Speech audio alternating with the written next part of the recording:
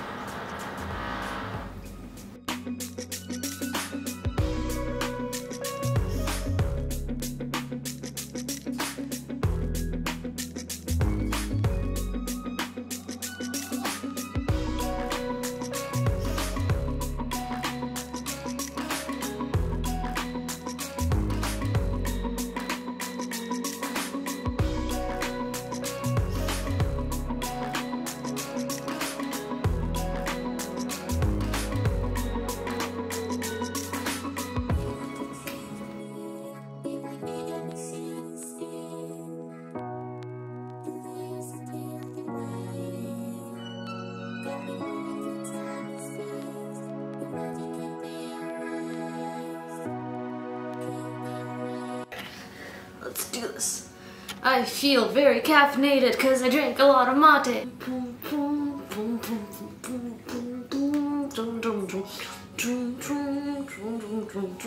It's time to meditate. It's time to meditate. It's time to get in the zone. It's time to get focused now. It's time to get get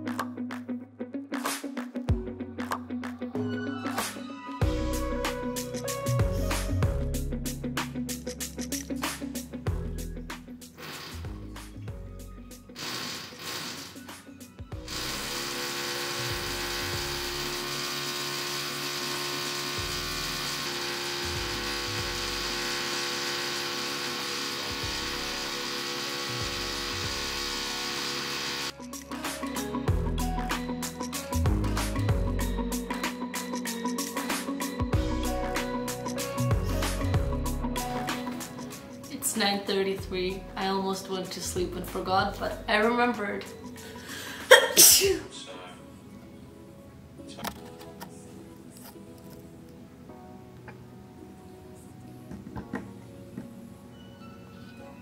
Kitty!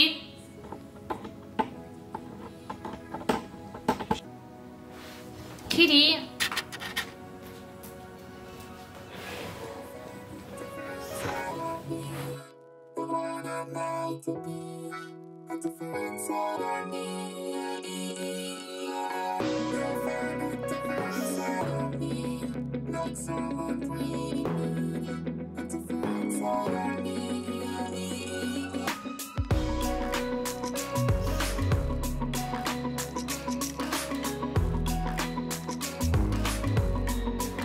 This is the last day.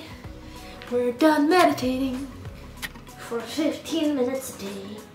We're done meditating for 15 minutes a day. 15, 15, 15 minutes a day. Okay, you can go. All right. 30 days over. Do I feel any different? Yes, yes I do. I definitely feel calmer. My mood swings are not as bad and I overall just feel more balanced and content, but the thing is, it's hard to tell how much of that is actually due to meditation because I also changed my medication up a little bit. Do I want to continue this? I think so. I'm definitely not gonna meditate for 15 minutes a day every day because having seen how it went even for a month, it was really hard. It's just hard to find 15 minutes to sit uninterrupted, even when you live alone. Early in the morning, I'm too sleepy, so if I do it, I'll fall asleep. Late at night, I'm also too sleepy, and if I do it, I'll fall asleep. I think there's a video of this, you've probably seen it in the montage just now. I once fell asleep in the middle of the day while doing a meditation, and I actually slept for two hours. So that didn't work out too well. It was a disaster. I'm a sleepy person, okay? So when I relax and sit down and focus on my breathing, I want to pass out, and very often I do.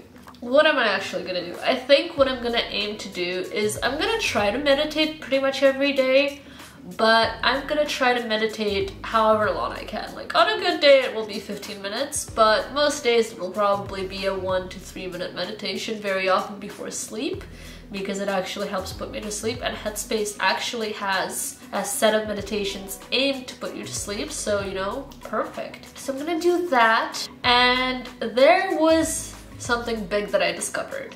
I discovered that it's very hard to meditate when you're not home alone. And I dealt with this a little bit in college, but I also had a bedroom to myself, so I would just retreat into the bedroom and wear headphones so that nobody would hear the headspace narration. So it wasn't too bad, but here at one point while I was meditating, a friend was staying with me for a week and I have a one bedroom apartment so they were staying on the sofa bed in the living room. I usually meditate in the living room and so you know initially when they said they were coming I thought okay every time I want to meditate I'm just gonna go into the bedroom and set up the camera there.